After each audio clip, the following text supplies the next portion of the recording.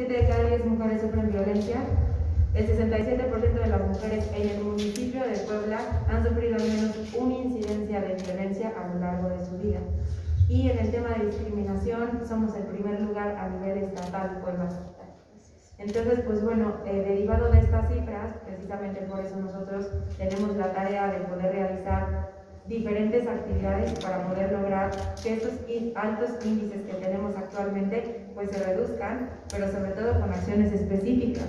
Yo les quiero platicar que, que, en el tema de violencia nosotros estamos enfocados primero en las 10 colonias más violentadas en Puebla.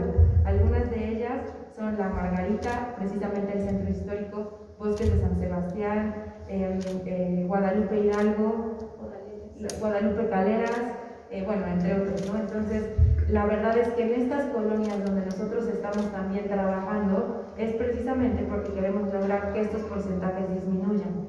Las clases de defensa personal que apenas hace unos días nosotros también anunciamos, estamos dando también este tipo de cursos y de talleres en estas colonias, precisamente para que también las mujeres se sientan seguras. Yo sí quisiera como aquí decirles que no se trata de competir hombres y mujeres. Cada uno de nosotros tenemos que entender que somos diferentes, hombres y mujeres, cada uno tiene su fortaleza, cada uno somos distintos. Simplemente nosotros con estos cursos lo que queremos hacer es que las mujeres puedan entender y aprender herramientas para poder salir en dado momento de su víctima. No se trata de que nosotros les enseñemos a cómo eh, irse a los golpes a los hombres, porque no es el caso. Al contrario, son herramientas para que ellas puedan salir de algunos momentos específicos que, que, sufran en, en los días.